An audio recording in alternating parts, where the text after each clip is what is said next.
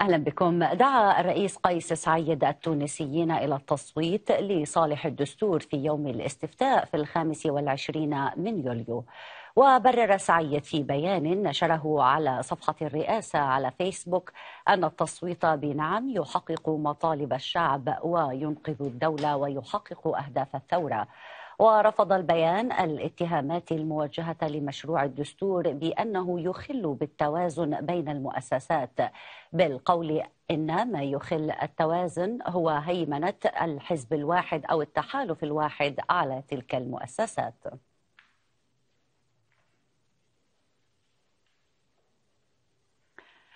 ومشاهدينا أشير إلى هذا الخبر العاجل أمامنا الآن حيث قال الصادق بالعيد رئيس اللجنة الاستشارية للدستور للتلفزيون العربي قال أعتبر نفسي مستقيلا من رئاسة اللجنة لرفض مشروع الدستور الذي نشره الرئيس سعيد. إذا بلعيد يستقيل من رئاسة اللجنة. هذا في الوقت الذي دعت فيه الحملة الوطنية لإسقاط الاستفتاء على الدستور في تونس إلى مقاطعة الاستفتاء باعتباره باطلا بني على باطل. وقالت الحملة في مؤتمر صحفي إن هيئة الانتخابات ليست مستقلة لأنها مختارة من طرف الرئيس مبدية استغرابها من أن يقوم الرئيس بإسقاط الدستور والإتيان بآخر لأن الشعب لم يفوض على حد تعبيرها. ودعت جبهة الخلاص الوطني القوى الوطنية التونسية للتعالي على خلافاتها وتوحيد موقفها لإفشاء الاستفتاء على الدستور وإسقاط الانقلاب والعودة للشرعية على حد وصفها.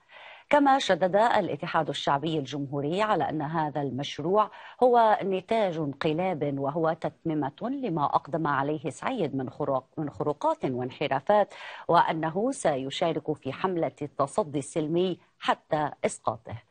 بدوره وصف التيار الديمقراطي مشروع الدستور المعروض على الاستفتاء بأنه خطر داهم يهدد كيان الدولة ووحدة الوطن والسلم الاجتماعي ويستهدف الحقوق والحريات وأن دعمه خيانة للوطن.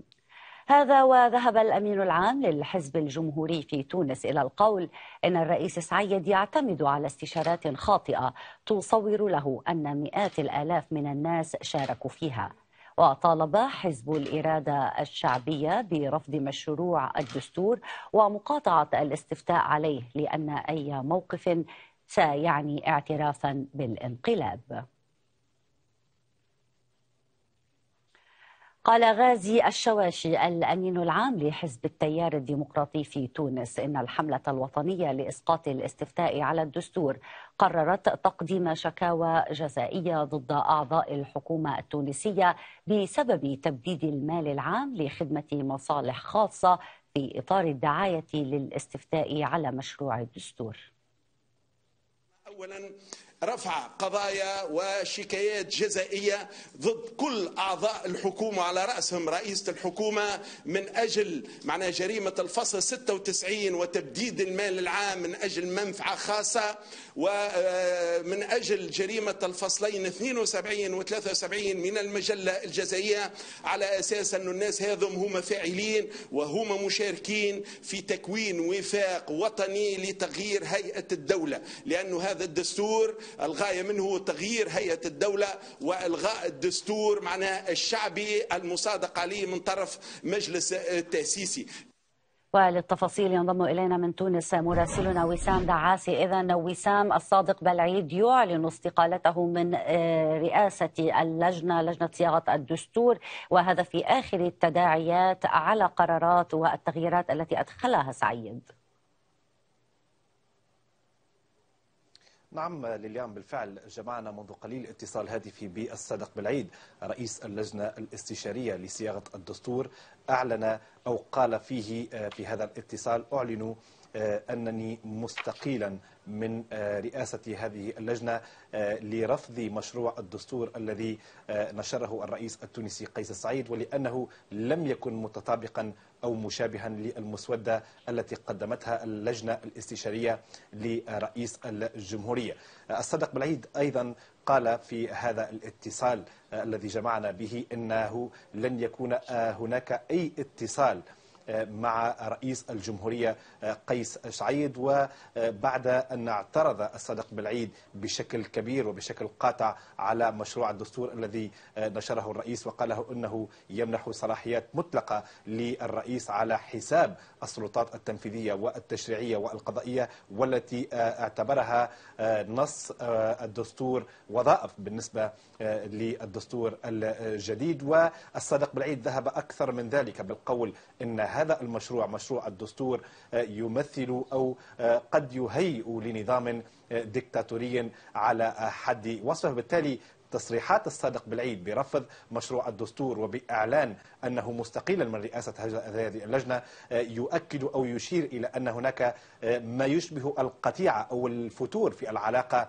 بين الصادق بالعيد والرئيس خاصة أن الصادق بالعيد يعد أحد أبرز المقربين من الرئيس التونسي قيس سعيد والذي كان يستشيره في كل القرارات الدستورية منذ اتخاذه تدابير وإجراءات استثنائية قبل عام تقريبا وبالتالي استقالة الصادق بالعيد والعلاقة المتوترة مع الرئيس قيس سعيد تعد يعني سابقة في العلاقة بين الطرفين وخاصة في الوضع في ذل الوضع السياسي الذي تعيشه تونس خاصة مع انطلاق الحملة الدعائية للاستفتاء قبل يومين وبدأ العد التنازلي لهذا الموعد المقرر في الخامس والعشرين من يوليو الحالي في الأثناء ليليان تتوالى ردود الفعل السياسية والمنظماتية بشكل كبير.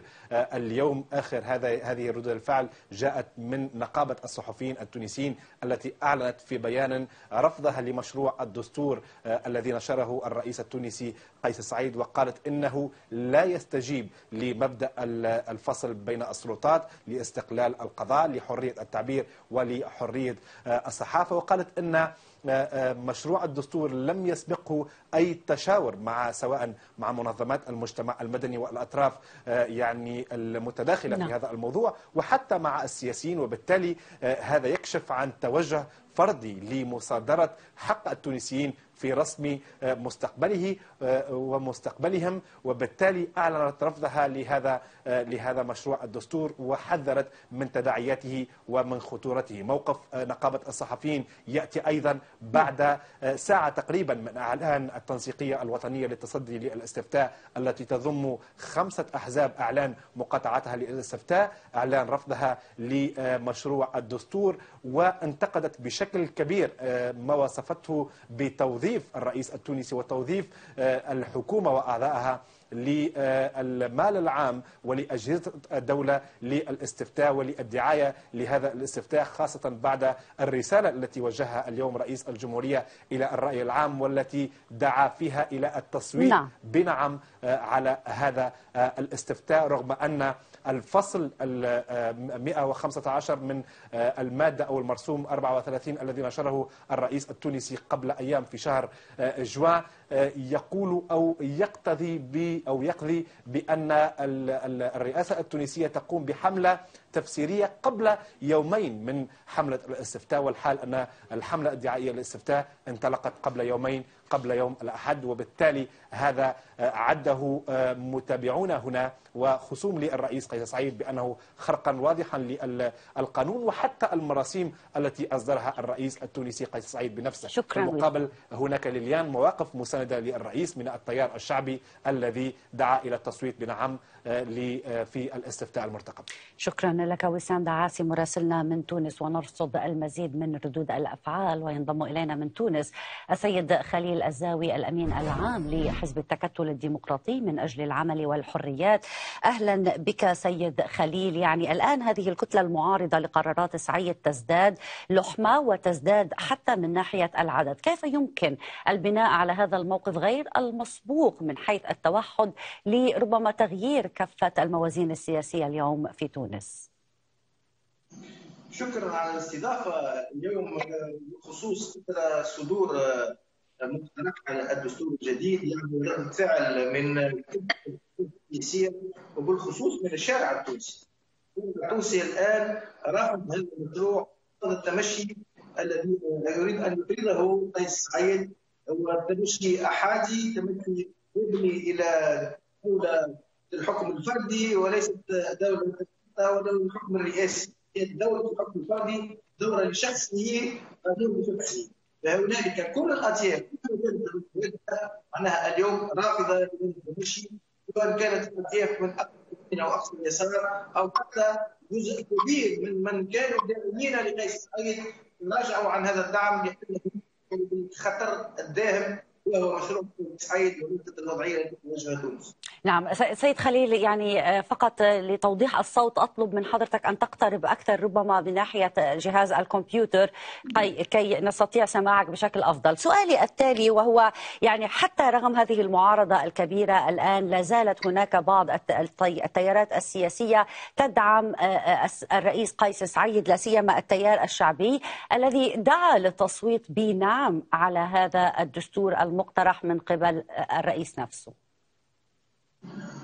هو التيار الشعبي ليس هو الوزن الذي يريد أن يظهره الوزن السياسي للشارع التونسي التيار الشعبي هو ضعيف ليس له نواب في البرلمان السابق. في دولتين لم يقدر على تصعيد نواب في البرلمان. وصوت يعني شاذ أن يتموقع مع الرئيس قيس قيس سعيد لرغبة في العودة إلى المشهد السياسي ولا أعتقد أن قيس سعيد ولا المواطنين سوف يعيدون التيار الشعبي إلى المشهد السياسي.